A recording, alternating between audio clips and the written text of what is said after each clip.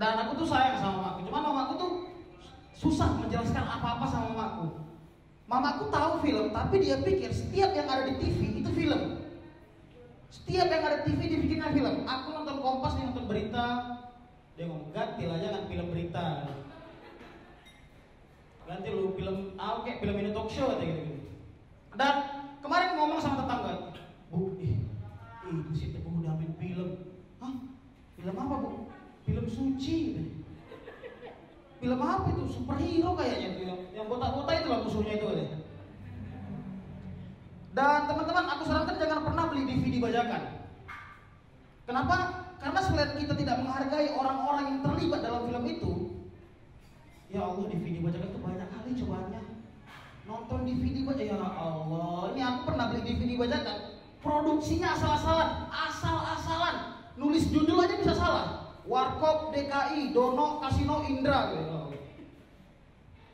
Ini ya, waktu kemarin lagi booming-boomingnya film Dilan, Aku sama teman aku beli beli kaset ya, teman aku yang beli, aku cuma ikut nonton. Beli DVD bajakan. Ya di situ audionya hilang-hilang. Suaranya hilang-hilang ini tahu pas pertama kali Dilan ketemu sama Milea, itu ya Allah hilang suaranya. Kamu Milea ya? Iya. Kantin. Apa? Tiba-tiba kantin gitu tuh kalau kalau aku bisa manggil pengen aku panggil tuh Dilan sini sini sini. Milea kantin tuh apa itu? Milea anak ibu kantin apa? Milea apa penduduk kantin apa kita nggak tahu kan? Dan teman-teman ada satu faktor paling penting mungkin sedikit penting dalam film namanya musik scoringnya aku nggak tahu. Aku nggak pernah terlibat dalam film tapi aku nggak tahu gimana pembuatan musik scoring. Yang aku tahu musik scoring adalah musik-musik yang membuat adegan jadi lebih dalam. Misal adegan serem jadi lebih serem, adegan sedih jadi lebih sedih, adegan bahagia jadi lebih membahagiakan gitu. Kayak misalnya adegan serem, di situ harus aktornya juga harus acting takut. Misalnya,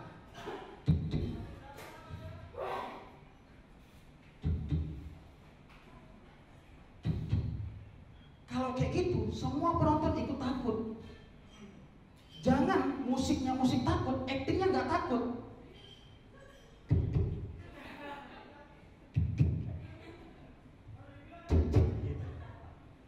Dan musik musik scoring juga si pembuat musik scoring juga harus pintar. Misalnya adegan sedih, ya harus musik sedih gitu. Misal film ADC, Rangga.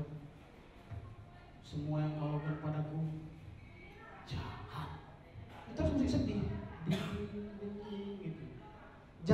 Sedih, musiknya nggak sedih. Rangga, semua yang kau lakukan jahat, musiknya. A a a a Aisan, ku jatuh cinta itu Rangga macam apa gitu gitu.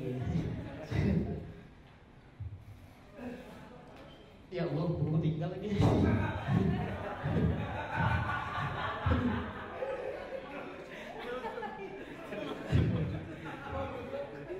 Dan ambilin buku boleh ya?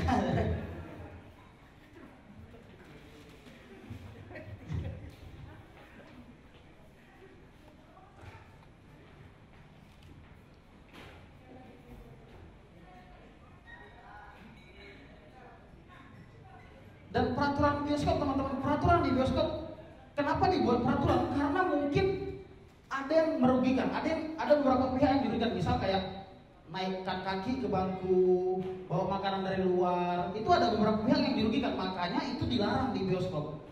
Tapi ada kegiatan yang merugikan kita, tapi tidak dilarang. Ciuman. Ya Allah, ciuman tuh ganggu loh, ganggu kita lagi fokus, tiba-tiba di belakang ada. Nah, ini seharusnya yang berciuman itu ditegur, ditegur. Selama ini nggak pernah loh ditegur, nggak pernah. Ini kalau emang ditegur ya, bukti nggak selama ini aku masih aman-aman aja. Ini maunya mereka ditegur kayak lampu merah lampu merah yang sekarang tuh yang yang ngomong pakai speaker gitu.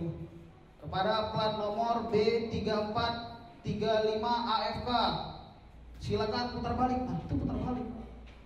Mereka langsung nyerah gitu, udah putar aja gitu. Maunya yang cuma-cuma di bioskop juga harus gitu. Kepada bangku A1 dan A2 itu jangan bibirnya gabung itu.